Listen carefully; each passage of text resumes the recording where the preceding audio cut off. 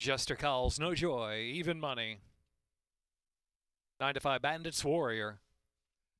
And they're off. Bandits Warrior very fast away from the gate. Bandits Warrior opens the length and a half. That opening 16th of a mile. Mercury headed no more mass. And then it's back to Bucky's Charm. Jester calls no joy. Broke Lash is making progress on the outside, moving into third position. In the back is Factor in the heat. Only five lengths will cover front to back. Bandits Warrior the speed over to the rail, leading the way about a length and a half from Mercury headed Jester calls no joy. Jester calls no joy, picking it up quickly into the second spot. Factor in the heat is fourth, and no more mask, and Bucky's Charm trailing the field. Into the far turn, Bandits Warrior in front from Jester calls no joy. The lead's almost two lengths. Here's Bandits Warrior trying to kick away once more. Now two and a half furlongs out. Jester calls no joy. Still got a rally there from the second spot. Bandits Warrior still got running plenty of it too. Bandits Warrior turns for home with a five length lead, leaving Jester calls no joy reeling back in second. On the inside is Mercury Head, then Factor in the heat of the outside.